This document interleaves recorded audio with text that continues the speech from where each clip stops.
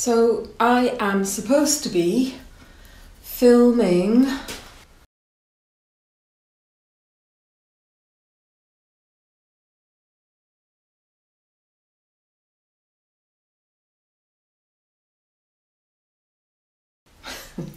I'm procrastinating and I'm kind of yeah just I just can't get focused at all.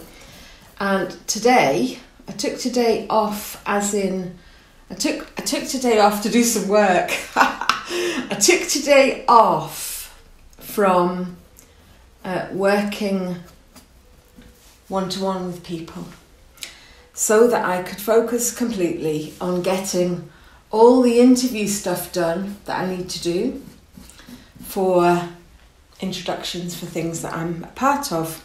And I'm so, so grateful to be a part of these things. And oh my goodness, speaking to the camera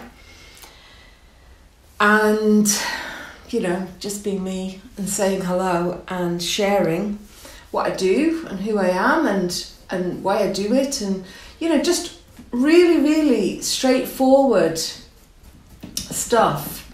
Really, really straightforward stuff appears to be like climbing up a mountain backwards for me.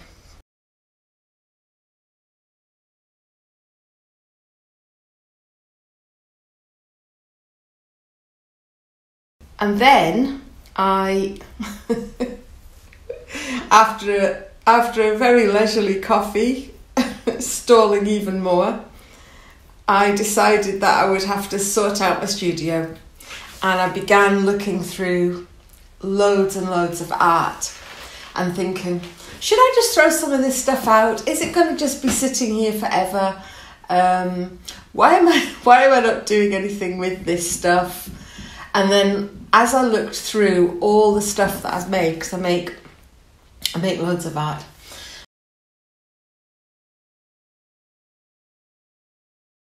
I make loads of art and and I love doing that, by the way. And an hour and a half later,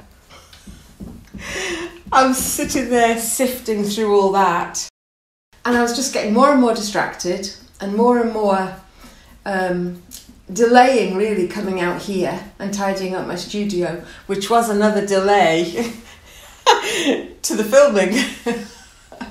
not sure why I'm laughing. It's not ha ha funny. I'm laughing because it's like a little bit of hysteria. When will I ever get these things done? When am I ever going to just look at the camera, tell people who I am, and what I do, and do the biz and edit it all and, and just get on with that stuff? I'm not sure of the answer.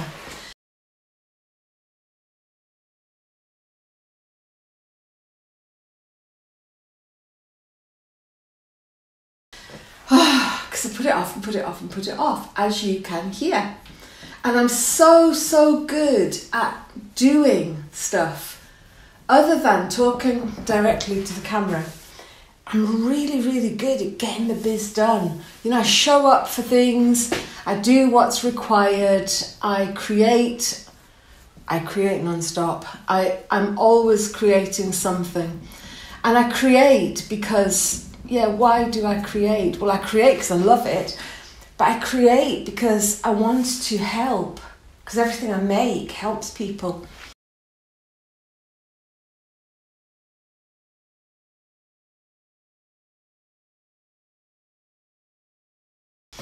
So, yeah, so the intention behind all my creativity is to create something which will hopefully help those who participate to well to find themselves to become more who they truly are. I'm driven absolutely driven. I'm so passionate about this this particular thing. Driven to help driven driven driven and and that isn't about avoiding helping me because i have i love therapy i i love going for therapy i've been having therapy for years and and I have it I have it because it helps me so much. You know, I'll go and I'll I'll have coaching, I'll have therapy, I'll um, put lots of new things in place and change and grow and then do a bit more.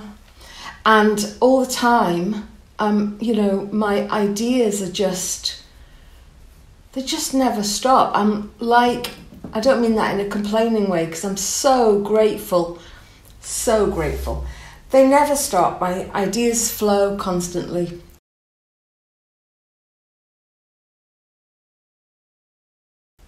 and I'll have to, you know, stop what I'm doing for a minute to very quickly make a note of an idea. And, you know, that happened to me four or five times in a day. And once I start really getting into creating those ideas, you know, they really sprout and grow and become something more, more and more and more, so that I can share um, things that I've learned that have helped me with you because, well, I'm compelled to help. I'm just, it's in me to just, I don't know what this thing is. What is this thing? I just, I think I just want everybody to experience the amazingness that I have experienced.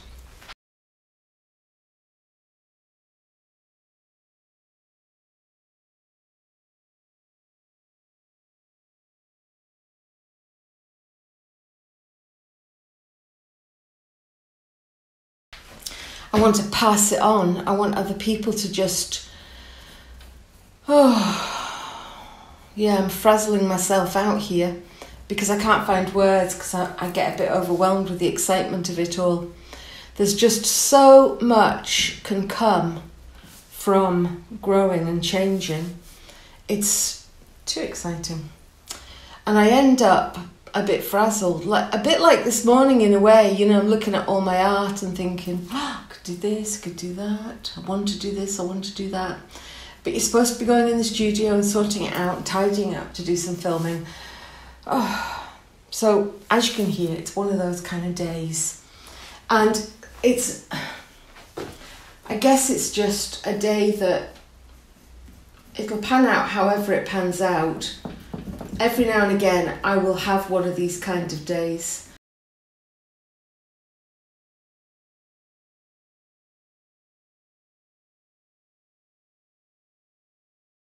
full of contradictions, aren't I? Yes, so anyway, moving on to the studio and filming.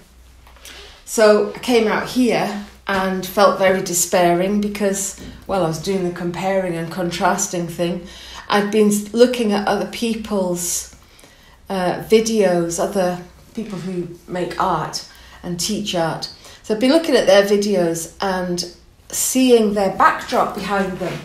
And, you know, I mean, they're all, it's like pristine it's everything's cream and beige and space, uh, very spacious and um, tidy. uh, I wouldn't really show you around here, not such a from the waist down, because I am fully clothed, but the studio is a mess. I, it's full to the brim of stuff, resources. I've got loads of stuff in here. And I need loads of stuff for me because I create a lot, but I need loads of stuff in here for the people who come and create in groups and one to one in here.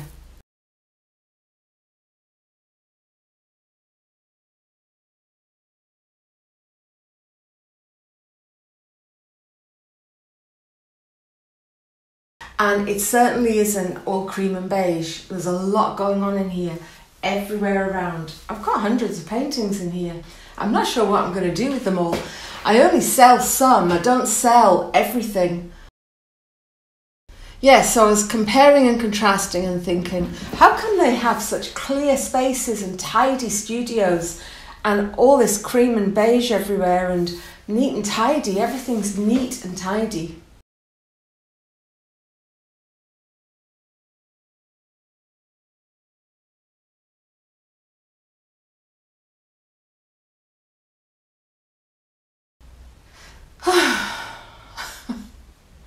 I've got all sorts of stuff everywhere. But it's here for a reason. It's here as a resource for creating and making art, whether that's for me or for others. So yeah, I thought, should I be having a nice cream beige background with all neat and tidy boxes and things stacked everywhere?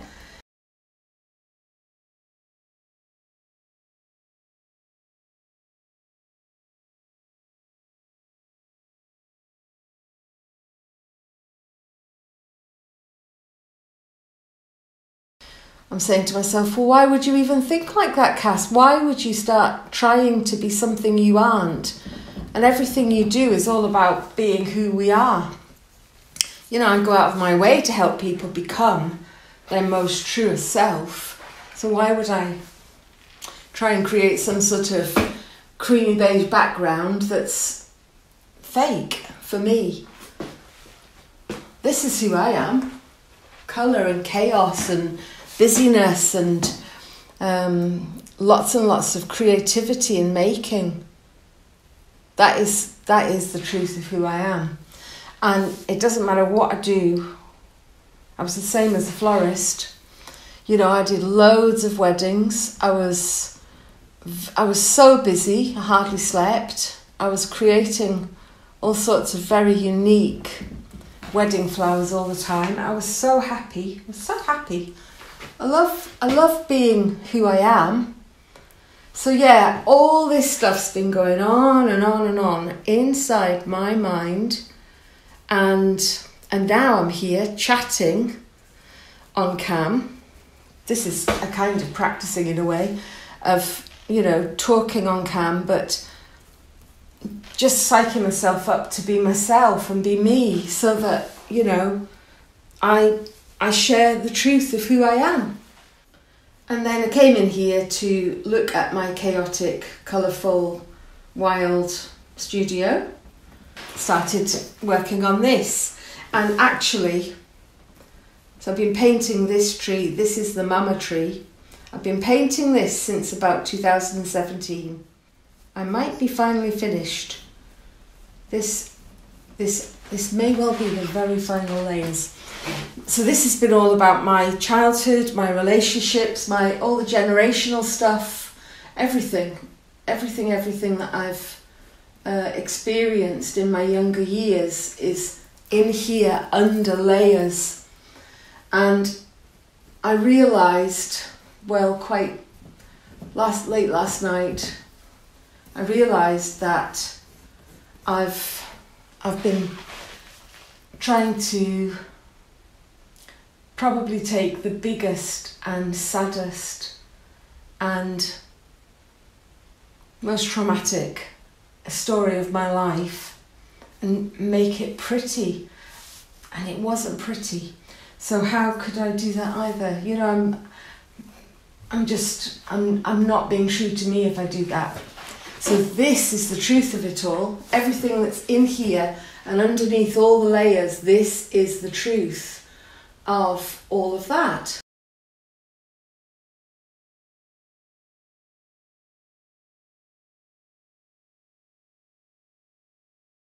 I think I was trying to make something very, very sad into something that uh, looked acceptable and attractive and pretty and all of that and it just needs to be how it really is. And that's what this is.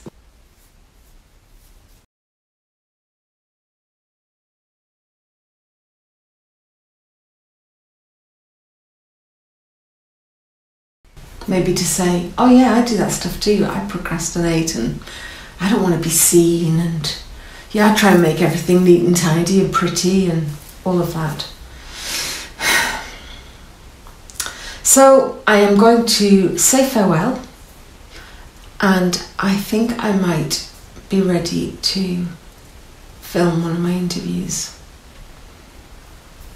Who knows? Okay, I hope you're okay. I haven't asked how you are, I haven't asked what you're doing today, I haven't asked anything about you, and I would like to know if you would like to share please do. You might be in one of my groups, say hello. okay, I am going to start. Thank you.